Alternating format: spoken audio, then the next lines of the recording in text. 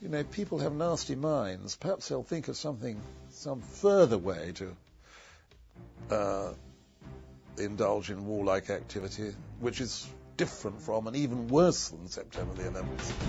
Vision presents Sir John Keegan discussing the human thought process that leads to war.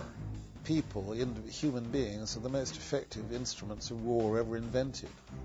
Much, much, much nastier than any drone. I mean, can you think of anything nastier than the graduate of the University of Hamburg who believes that God has told him to crash an airliner full of innocent people into a skyscraper full of innocent people? I mean, that's about as just about as nasty as you can get, which tells one something about the modern mind, really. Um, uh, which I think is perverted and corrupt in many ways.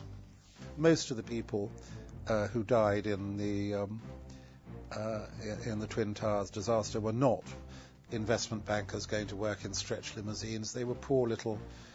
There was a huge restaurant on the top of the North Tower, uh, and they were poor little waitresses and and busboys and short order cooks, earning eight dollars an hour and living in Queens. I, I, they were as no better off really than um, worse off, of course, than these well-educated Arab graduates who'd been to Hamburg University, who flew the aeroplanes. And of course, it was, as you've begun by saying, I mean, it was the most widely witnessed act of war ever perpetrated, and so therefore highly sensational.